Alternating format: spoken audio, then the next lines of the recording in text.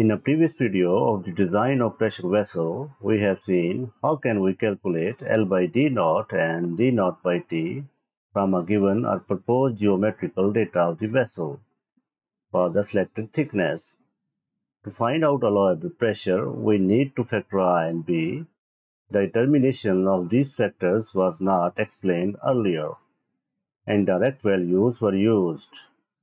In today's video, I will try to show you how can we find factor A and B from the charts. So, before determination of these factors, A and B, let's briefly define these factors.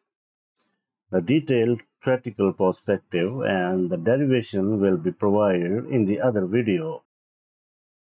We can define the strain as equal to uniaxial stress over Young's modulus and also we can put A is equal to strain and the plot of this resultant equation will give rise to the curve for factor of and here k dash is the buckling coefficient with pressure on sides and ends and r is the radius of the vessel. This brief definition is for the sake of concept, a detailed discussion and derivation will provide in some other video.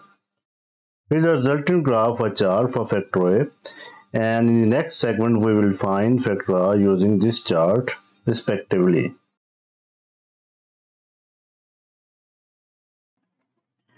Here is a geometric chart for components under external or compressive loading for all types of materials and L by D naught is 2.25 and D naught by T is 79 taken from the previous example. And here is axis for L by D naught.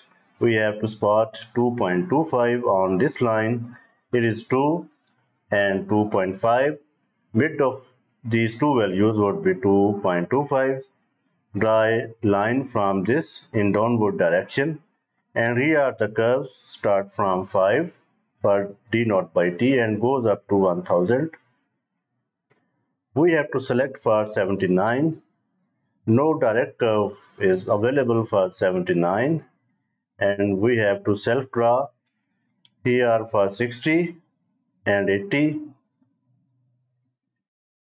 and mid of these two curves obviously would be 70 here's the curve for 70 the curve should be parallel to the existing curve.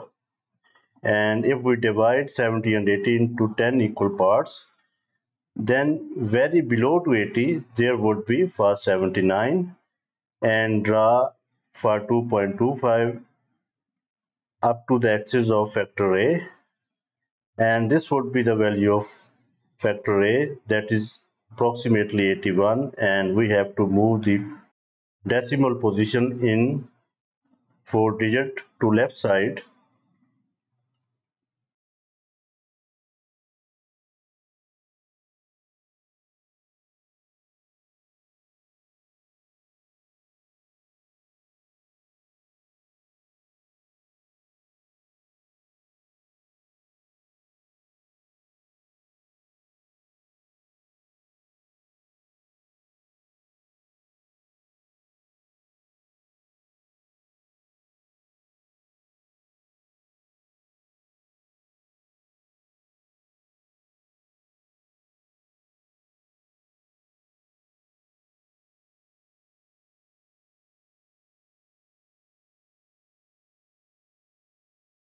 Here is the external pressure chart for the factor B and only applicable to carbon and low alloy steel.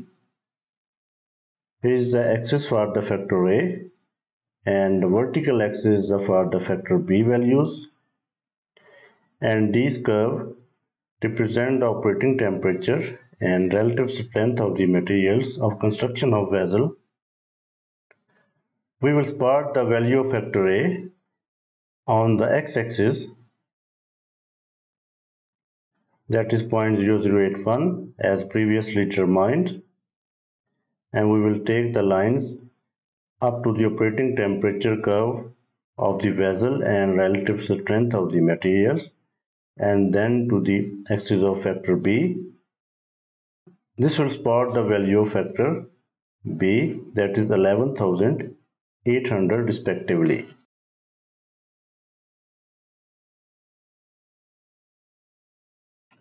Okay, but if the value of factor A fall to the left of the material lines and there's no curve in this region, then how can we find factor A? For this case, there is an equation available. Uh, we can directly find allowable pressure for this vessel. And in this case, we have no need of factor at all.